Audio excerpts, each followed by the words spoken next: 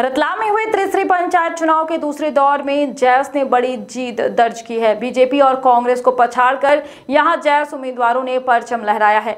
दूसरे चरण के मतदान में शुरुआती आंकड़ों के अनुसार जिला पंचायत की चार में से चारों सीटों पर जैस ने कब्जा जमाया तो वहीं सैलाना जनपद की सैतालीस ग्राम पंचायतों में बीस से अधिक जैस के सरपंच जीते हैं। बजाना जनपद की पैंसठ ग्राम पंचायतों में 30 से अधिक जयस प्रत्याशियों ने बाजी मारी। दोनों जनपद के अधिकांश वार्डो पर भी इनके उम्मीदवार चुनाव जीते हैं। जैस ने कांग्रेस और बीजेपी दोनों को पीछे छोड़ते हुए जिला पंचायत की चारों सीटों पर कब्जा किया है, जिनमें वार्ड तेरह से शरद कुमार डोडियार, वार्ड चौदह से नंदिनी राजेंद्र मैडा वार्ड 15 से केसुराम निनामा और 16 से चंपा चंदू माइडा ने जीत हासिल की है। वहीं बजाना और सैलाना की सभी पंचायतों में जय सरपंच पद पर 50 फ़ीसदी से अधिक पदों पर जीत हासिल की है। पंचायत चुनाव की आधिकारिक घोषणा 13 जुलाई को होगी, जिसमें स्थिति साफ़ नज़र आएगी।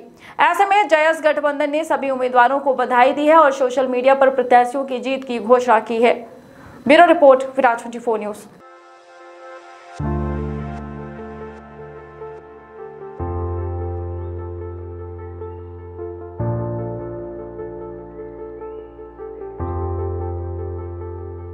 सर्व सुविधा युक्त नेशनल हॉस्पिटल समान तिराहा, रीवा में। अब कैंसर का सफल उपचार और ऑपरेशन की सुविधा उपलब्ध है। हमारे यहाँ मिल रहा है आयुष्मान भारत निरामय योजना का लाभ। आयुष्मान जन आरोग्य योजना के तहत सभी प्रकार के मेडिक्लेम की सुविधा उपलब्ध है। हमारे यहाँ लेजर कैंसर, अस्थि रोग एंडोस्कोपी, लेप्रोस्कोपी एवं प्रसूति रोग का अनुभवी चिकित्सकों के द्वारा उपचार किया जाता है। कैंसर के इलाज एवं ऑपरेशन अब रीवा के नेशनल अस्पताल में उपलब्ध है।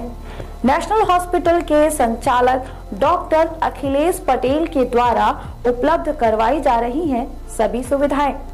आयुष्मान से संबंधित किसी भी प्रकार की जानकारी के लिए संपर्क करें।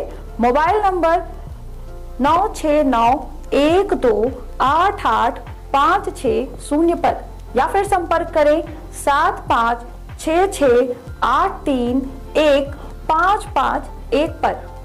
हमारा पता है नेशनल हॉस्पिटल समान तिराहा रीवा। संपर्क करें शून्य सात छ छ दो तीन पाँच नौ नौ सात चार पर या फिर संपर्क करें आठ छ शून्य दो आठ आठ पाँच नौ नौ शून्य पर।